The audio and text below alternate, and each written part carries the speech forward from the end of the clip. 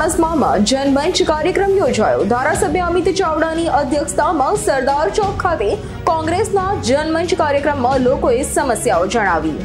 ડેરીના જે વિભાગ બે વિભાગ થવા જોઈએ. પાટણ જિલ્લાને અલગ ડેરી મળવી જોઈએ એ મળી નથી. એના સિવાય બીજો મુખ્ય મુદ્દો છે જે ડિસ્ટ્રિક્ટ બેંક અલગ આપવી જોઈએ જિલ્લાને.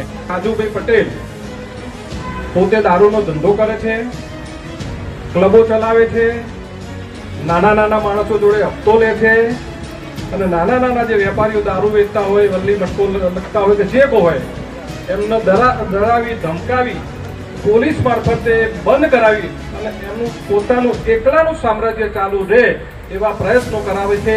એ મારી રજૂઆત તમે આ મંચમાં કહેજો એટલે હું જાહેરમાં કહું છું. અને આ અંગે આવનારા દિવસોની અંદર ગૃહમંત્રીશ્રીને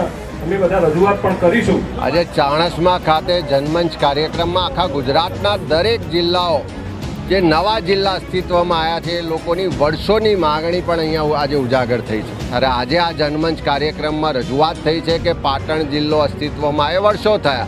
તેમ છતાં પાટણ જિલ્લામાં આજ દિન સુધી જિલ્લાની પોતાની ડેરી પણ નથી, જિલ્લાની પોતાની બેંક પણ નથી એના કારણે ખેડૂતો, પશુપાલકો આ જિલ્લાના લોકોને જે હાડમારી પડે છે, જે લાભ નથી મળતો, જે પૂરતું પ્રતિનિધિત્વ નથી મળતું, અહીંના લોકોની મહેનતના પ્રમાણમાં એને વળતર નથી મળતું, એ વાતને આજે લોકોએ આક્રોશ સાથે રજૂ કરી છે ને એ વાતને અમે વિધાનસભા સુધી લઈ જઈશું. અમારી તમામ માહિતીથી અપડેટ રહેવા માટે જોડાયેલા રહો એસ ન્યૂઝ સાથે.